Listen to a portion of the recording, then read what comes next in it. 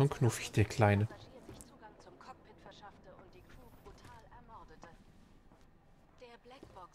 Hm.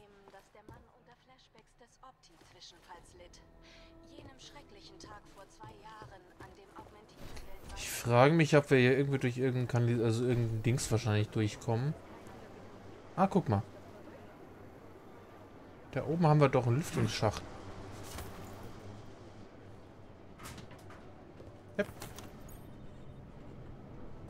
Mhm.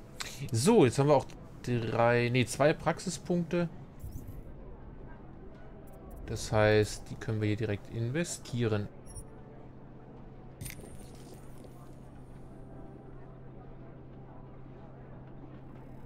So.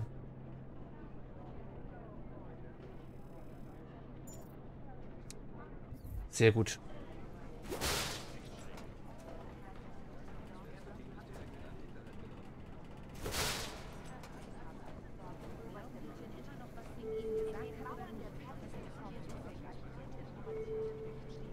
Bin ich hier dann richtig? Ich glaube, hier ist dann auch der Dings. Hm. Wo den Flüstership dann hinbringen, oder? Ah ne, der ist da hinten, aber ich... Warte mal. Ich glaube, das ist gar nicht so verkehrt. Hier.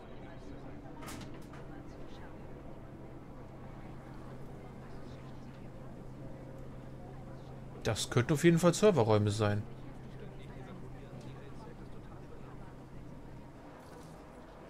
Yep.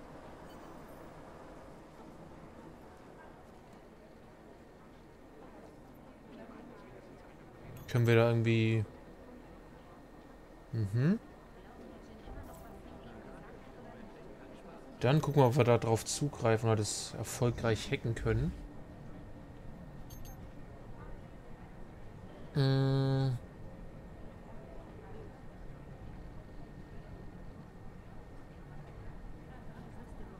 Ja, müsste eigentlich gehen.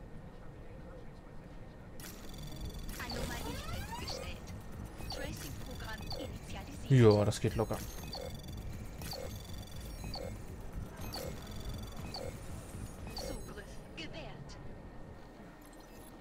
Sehr schön. Ähm. Hm. Okay.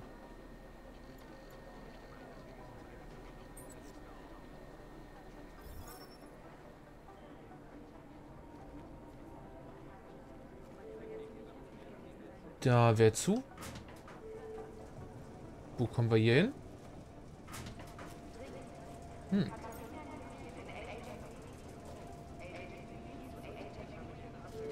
Wir haben ein wenig Strom hier.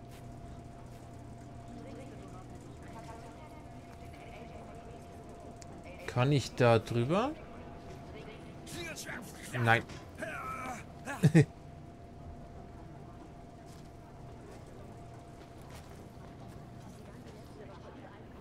Irgendwie abstellen? Nö.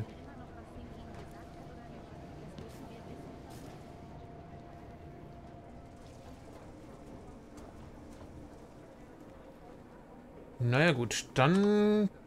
Wie sieht's da aus mit Hecken? Ah.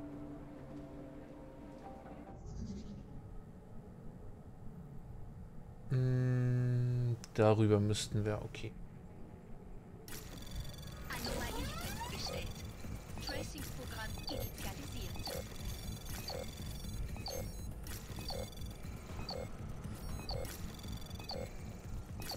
Ups. Naja, gerade nochmal hingehauen.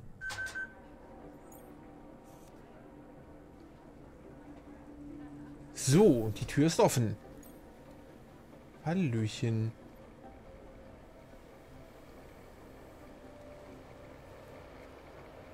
Da haben wir noch einen Whisky.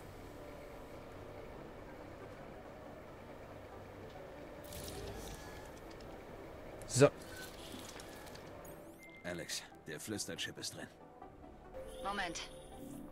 Verdammt, Adam. W wird es gerade benutzt? Scheiße, ich muss weg. Agent Jensen, in mein Büro. Sofort. Whoops.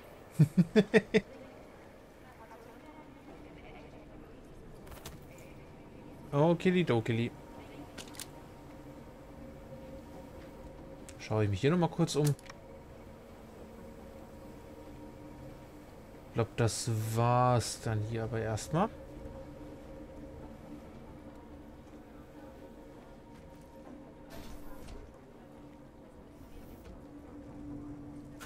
So, das mit der Lüftungsabdeckung machen wir später mal.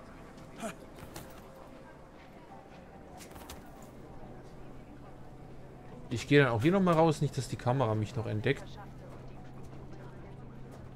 Hopp, hopp, hopp, hopp.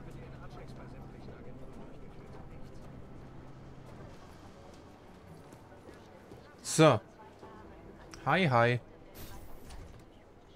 Na? Agent Jensen meldet sich zum Dienst, Sir. Hab schon mal versucht, aber sie hatten eine Telefonkonferenz. Ja, richtig. Muss ich mir Sorgen um Sie machen, Jensen? Wie bitte? Der Systemschock. Macht er was in Ihrem Kopf? Lässt er Sie irgendwelche Dinge tun? Ich werde nicht durchdrehen und Leute angreifen. Falls Sie das meinen. Dann wurden Sie also durchgecheckt? Das Problem mit Ihren Augs ist behoben? Ich habe mich darum gekümmert. Gut, gut. Gott weiß, dass ich Sie nach den aktuellen Vorfällen zu 100% einsatzfähig brauche. Sie klangen verärgert, als Sie mich angerufen haben. Alles okay? Nehmen Sie nie einen Bürojob an, Jensen. Sobald Ihnen ein Schreibtisch am Arsch klebt, geht's nur noch um Politik. Machen die Bosse Ihnen Ärger? Was? Ach das? Nein, das Problem ist die Staatspolizei. Sie drängt uns aus der Rosika-Ermittlung raus. Ich will, dass Sie vor Ort sind und das verhindern. Sie setzen mich auf den Bahnhofsanschlag an? Nicht auf Dubai? Vergessen Sie Dubai. Das macht McCready.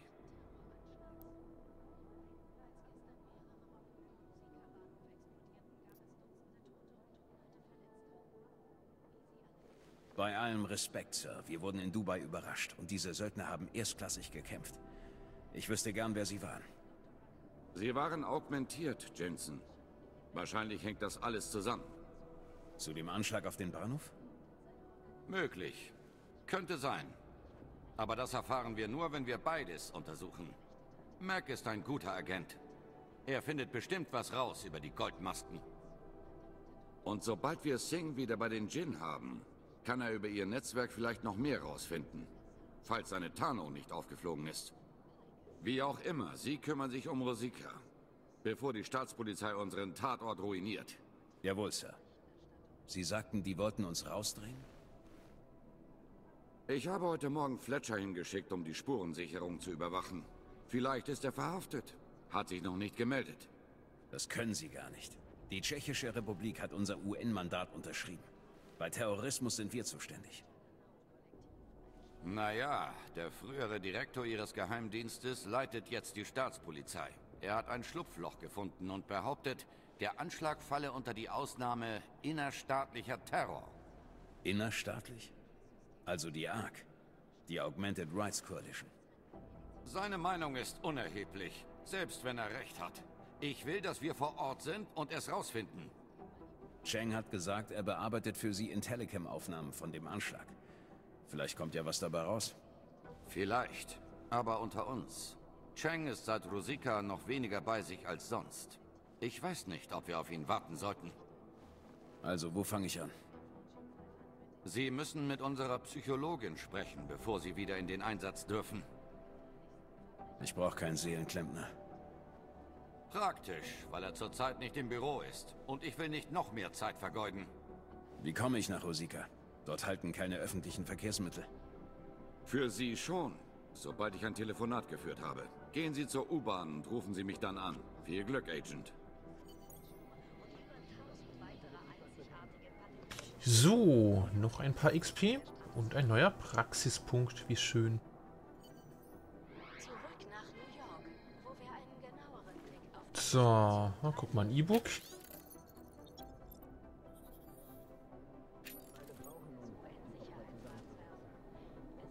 Hm, ich werfe mal den Drucker weg. So, dann...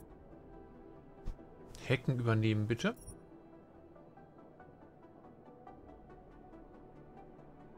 Hm.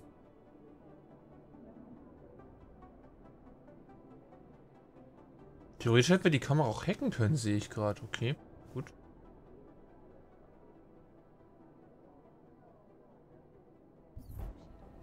Oder... Hm, Hecken tarnen. Ich glaube, das ist gar nicht verkehrt hier, dass wir das hier mal noch mit dem, mit dem reduzieren.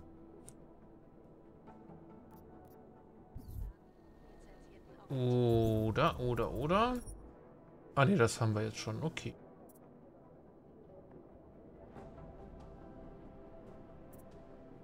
Dialogoptimierer.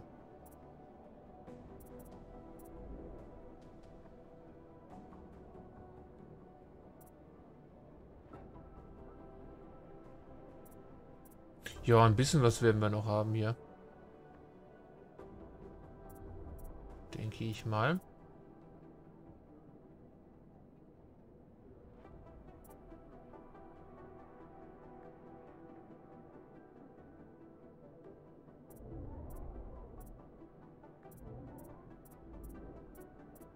War hier überhaupt irgendwas Interessantes? Tesla eventuell. Was mir was bringt. Hm.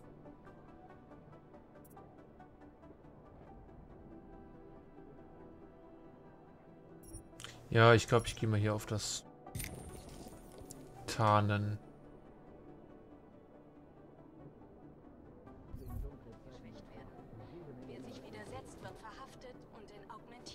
Reservate umgesiedelt. Es geht dabei primär um Sicherheit. So, können wir noch irgendwas mitnehmen? Sieht nicht so aus.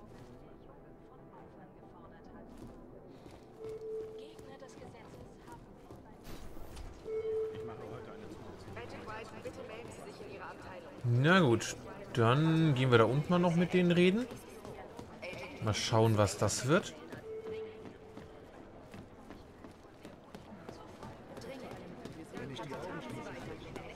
Ah, da müssen wir dann reisen.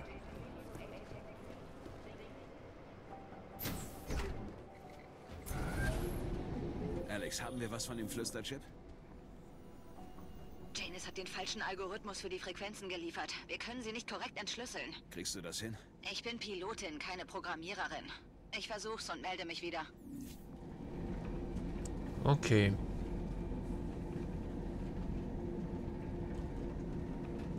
Frage mich ja, wenn, ähm, wie hieße Vega im ersten Teil überlebt hätte. Ich hätte im Bett bleiben sollen. Hm. Ob sie dann unsere Pilotin hier gewesen wäre.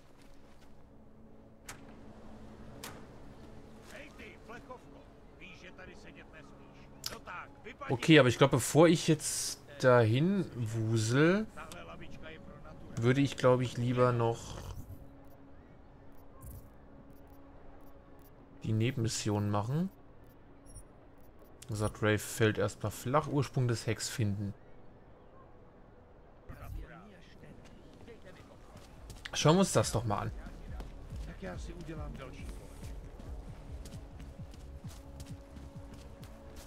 So, das heißt da rein.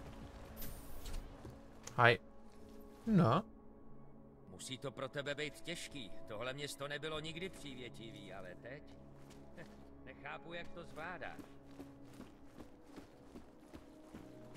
Dann schauen wir uns doch hier oben mal. War das nicht auch das, wo der Dings war?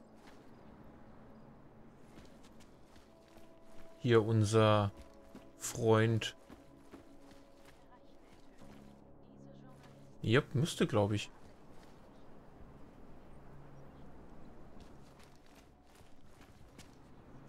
Okay. Halt dummerweise nur auf der falschen Seite hochgegangen. Das ist nett, brauche ich aber gerade mal nicht. Oder vielleicht hängt das sogar miteinander zusammen.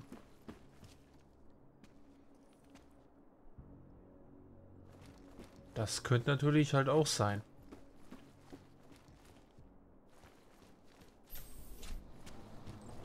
Dumm, die dumm, die dumm.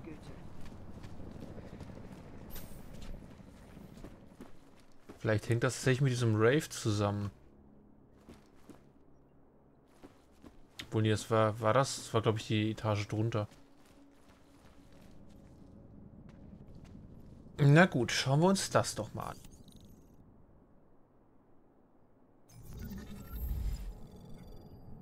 So.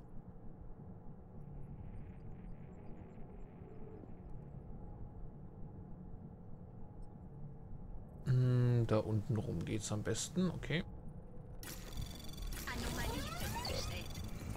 Na komm.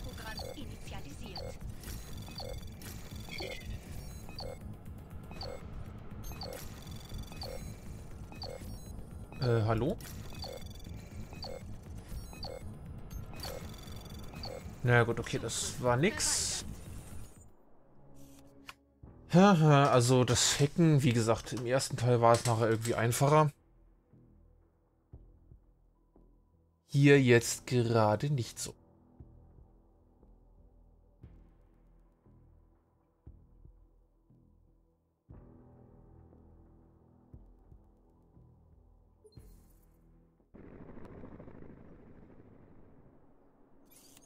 Aber das kriegen wir wohl hin. Zur Not benutze ich halt so ein Auto-Hack-Gedöns.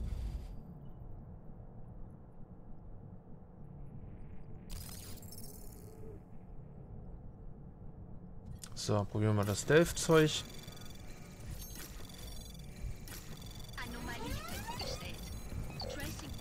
initialisiert. Komm.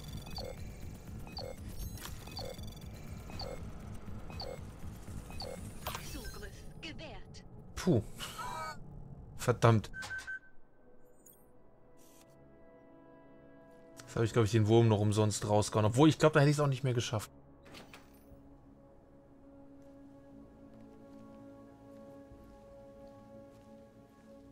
Weiß es ja nicht.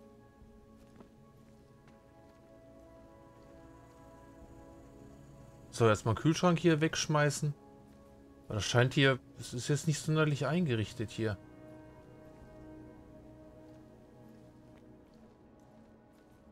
Jupp, das sieht mir nur wie so ein Zwischending aus. Karton.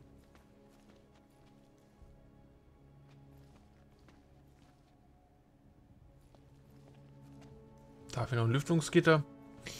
Vielleicht für später mal. Was haben wir denn sonst noch hier? Ach, guck mal. Noch mehr. Ach, wir hätten auch einfach hier rein können, oder? Wahrscheinlich. Den Schnaps werde ich auch mal irgendwann verkaufen. Jupp, das ist hier alles so Bastelzeug. Da unten? Ohne ihm hier Granate. Nett. Na dann. Hm. Wieder was zum Hacken. Ah gut, wir haben den Wurm doch nicht verbraucht, oder ich habe wieder einen aufgenommen gerade.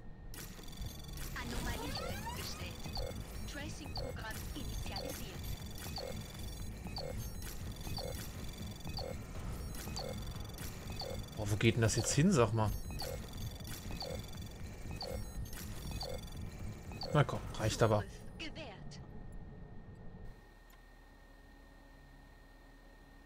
Post. Ähm, K wird nervös wegen der nächsten Auf äh, Ausgabe. Mhm. Uns kommt immer wieder Mondbasis an. Und dort. Hm.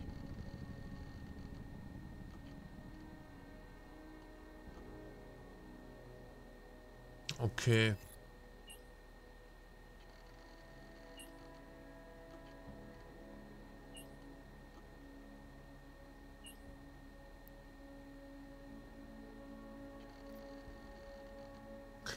Okay.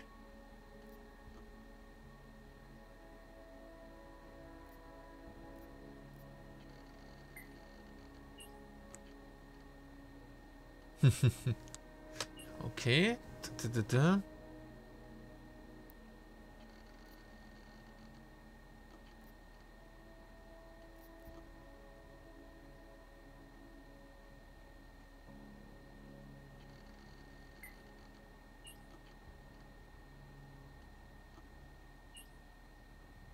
Ah, okay. So, dann haben wir doch ein bisschen was rausgefunden. Dankeschön. Ende des Gesprächs. Geht der einfach offline.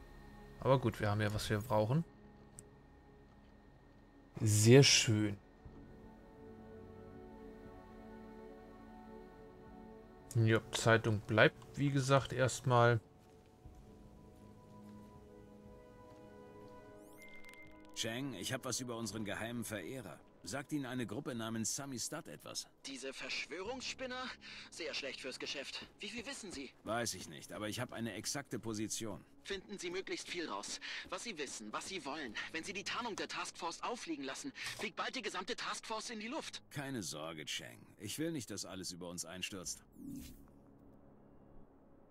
Okay. Ähm, so, bin gleich wieder da. So. Ja, dann schauen wir, was das hier wird. Ich denke, das könnte ich auch mal noch irgendwann hacken. Aber nicht jetzt und nicht heute. Wohl heute vielleicht schon. Ich weiß es nicht. Ich habe meine Papiere für das Gerät nächste Woche. Verstanden.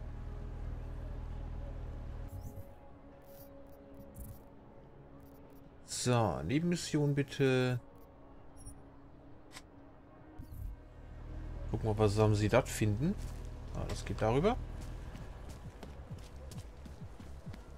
Oh, ein ganz schönes Stückchen. Oh gut, sollte passen.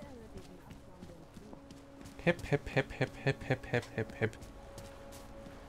Eines muss man Nathaniel Brown Kann noch ein bisschen Schnaps kaufen oder irgendwas. Ah, genau, in die Kanalisation sollten wir.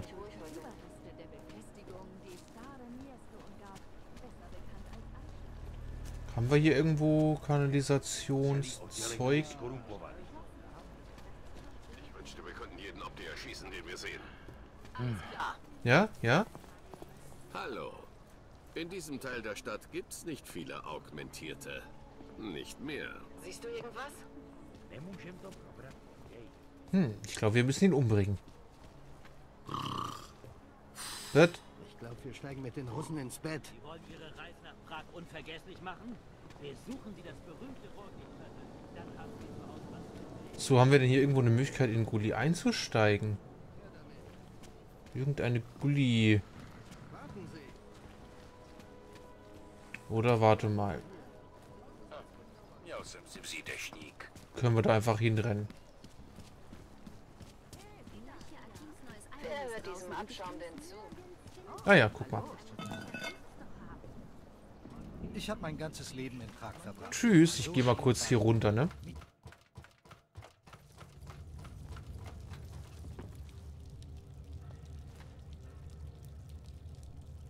Ah, hi. Es gibt keinen freien Willen. Wir werden von Geburt an programmiert. Erbe, Kultur, Herkunft, wir denken, wir treffen Entscheidungen, aber selbst die sind festgelegt. Okay, interessant.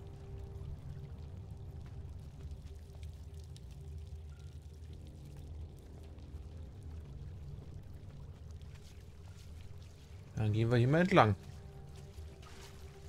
Mal schauen, wo uns das hinbringt. Vielleicht hat das ja tatsächlich was mit dieser Rave-Party zu tun.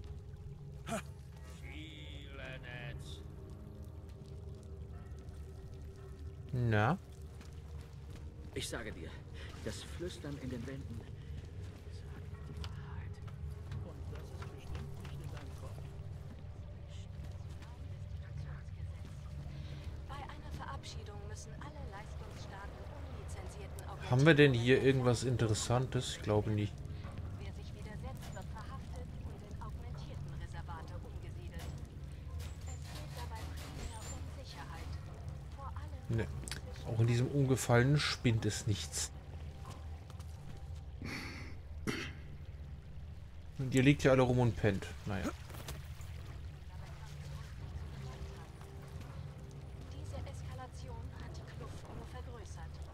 Ähm, ach so, warte mal. Wir räumen mal hier ein bisschen auf.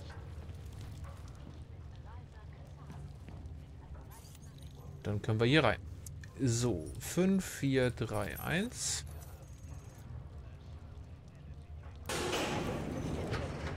Man dankt. Große globale Story. Dann die Erdbeben und die Klone. Neues aus Dubai und zum Abschluss Lokales. Was ist mit Praha Dobos? Wir stellen die richtigen Fragen, haben aber noch keinen Schluss. Du hast gesagt, das Ding ist eine Strohfirma wie eine Strohfirma. Ich will mehr Fakten. Bones, was meinst du? Ich bin immer noch... Na? Nicht schießen! Wir sind Scheiße. Journalisten! Wer hat bloß diesen Agenten eingeladen? Wer sind Sie? Was wollen Sie?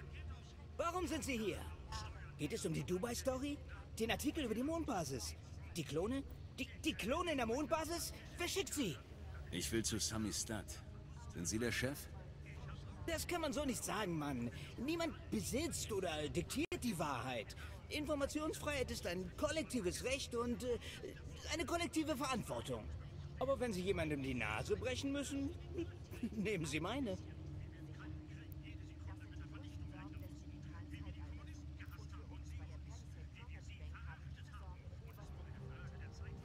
Ich spreche hier gar nichts. Ich brauche nur Ihre Kooperation. Ich habe lange in einer Kommune gelebt. Kooperation kann ich. Na gut, es geht um eine Geschichte, die Sie gerade recherchieren. Sie macht einige Leute nervös. Was wissen Sie über Praha Dovas? Die kleine Importfirma? Ich weiß, dass da im Keller nicht bloß Kisten stehen. Agenten gehen ein und aus. Der Laden ist ein Vorhang. Der erste von vielen. Und hinter allen sitzen Sie. Stimmt's oder habe ich recht? Das ist eine Sackgasse. Ja. Äh, Leute wie Sie kommen immer wegen einer Sackgasse zu uns. Gut. Nehmen wir an, dass dort schon andere Leute aktiv sind. Wenn Sie jetzt zu viel Lärm veranstalten, könnten dadurch größere Enthüllungen zunichte gemacht werden. Verstehen Sie das? Sind wir jetzt etwa Kollegen? Ihr Men in Black-Typen? Ihr geht rein zu Pikes, verpasst der Redaktion Maulkorb und alle kuschen. Aber hier läuft das nicht. Eines Tages lässt sie jemand hochgehen. Wenn nicht ich, dann jemand anders. Samistat ist nicht nur eine Stimme. K ist nicht nur ein Mann. Was genau machen Sie hier unten? Samistat ist ein Medienaufstand. Pikes sendet den Müll der Konzerne und der Regierung. Wir liefern die Wahrheit. Enthüllen, schreiben, veröffentlichen. Und wir holen uns dafür gebrochene Nasen. Sie drucken also Flugblätter. Wir tun viel mehr als das. Wir wissen, wie man ins Netzwerk von Pikes kommt. So verbreiten wir Informationen. Informationen, die Sie durch illegales Hacken erlangen. Die Wahrheit ist vergraben. Und beim Ausgraben verletzt man Regeln. So ist das eben. Was haben Sie mit K ist nicht nur ein Mann gemeint? K ist ein Ideal. Der nicht greifbare Kopf eines realen Widerstands. Sie können mich töten, aber dann wird Little K zu K. Wenn Sie Little K töten, wird Bones da drüben K. Es gibt immer einen K. Und wenn ich Bones töte? Bones kann man nicht töten. Er ist nicht real. Er war einer von ihnen und sollte der Prinz von Belgien werden. Aber dann knackte er seine Konditionierung. Wir haben ihn völlig verwirrt bei einem Kult gefunden und mit der Wahrheit umprogrammiert. Ist klar. Angenommen, ich muss einen Deal mit Samistad machen. Mit wem muss ich dann reden? Kommt auf den Deal an. Es wird immer einen Redakteur geben, der über die veröffentlichten Inhalte entscheidet. Das wäre dann ich. Sie könnten also dafür sorgen, dass über etwas nicht geredet wird. Kommt auf den Deal an. Sie müssen Praha Dovos in Ruhe lassen, aber nicht aus den Gründen, die Sie vermuten. Ich verstehe schon, auch wenn Sie das nicht glauben. Sie müssen Ihre Bosse von der Rüstungsindustrie beruhigen. Wir kennen das. Ich bin nicht das, was Sie glauben. Diese Leute, die die Medien manipulieren und Dinge vertuschen, die sind auch für mich der Feind. Der Feind ist immer derjenige, der die Wahrheit versteckt. Und genau das verlangen Sie von mir. So zu tun, als hätte diese kleine Importfirma nichts zu verbergen. Ich verlange, dass Sie den Unterschied zwischen Verschwörung und Diskretion erkennen. Zwischen Leuten, die Informationen für eigene Zwecke zurückhalten und Leuten, die unerkannt bleiben müssen, um operieren zu können. Sie sollten das verstehen. Okay. Okay, Sie machen einen ganz vernünftigen Eindruck und haben mir noch keine verpasst. Das finde ich erfrischend. Wir werden Praha Dovus vergessen und ihnen aus dem Weg gehen. Solange sie uns etwas Besseres liefern. Was schlagen Sie vor? Das Einzige, was ich mehr hasse als Geheimorganisationen, sind zahnlose Medienkonzerne, die niemanden zur Verantwortung ziehen und nur Lügen verbreiten. Mein Vorschlag lautet, es gibt Läden, in die meine Leute nicht reinkommen. Also machen Sie das und holen mir schmutzige Wäsche über den wahren Feind. Pikes. Dann schweige ich über alles, was Sie wollen. Und vielleicht erfahren Sie dabei sogar was.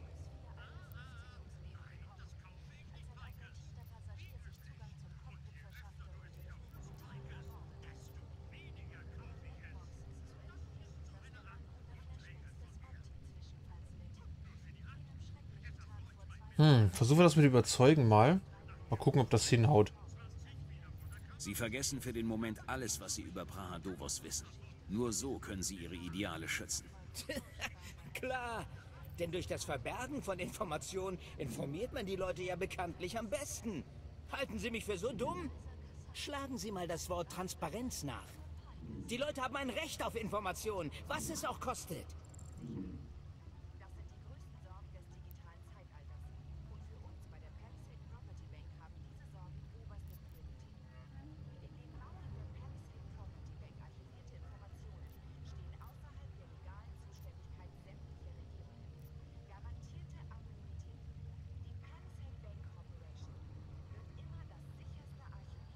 Sie sind an einer Sache dran, die größer ist, als Sie glauben. Zu groß für Sie.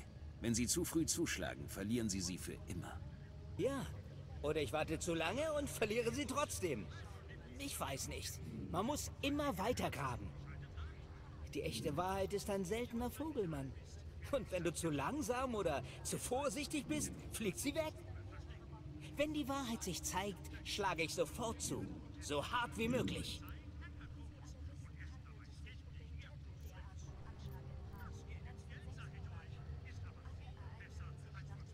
Um jeden Preis? Wirklich?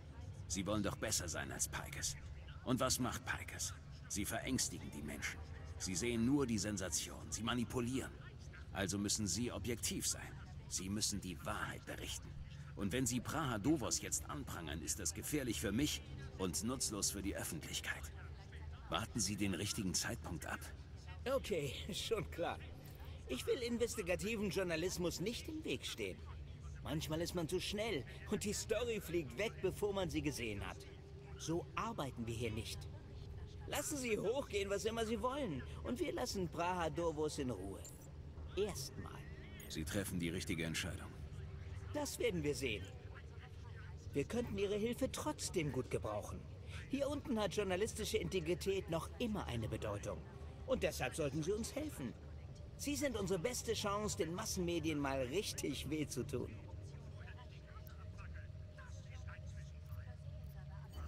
Also gut, was wollen Sie über Pikes wissen? Ich will Leichen. Für die Unternehmen wie Pikes extra nach Prag kommen, um sie dort im Keller abzulegen. Unternehmensarchiv. Unternehmensarchiv? Sie sagen, ich soll in eine Bank einbrechen? Ich rede nicht von Tresoren. Ashani Telva, Präsidentin der Palisade Bank. Sie setzt ihre Kunden mit Informationen unter Druck. Sie hat auch etwas über Pikes. Ich weiß das, komm aber nicht dran. Sie könnten in Ihrem Büro einen Beweis dafür suchen, wie skrupellos Pikes ist. Und dass Sie auf die Wahrheit scheißen. Im Gegenzug verlege ich jede Akte, die Sie wollen. Wir werden sehen.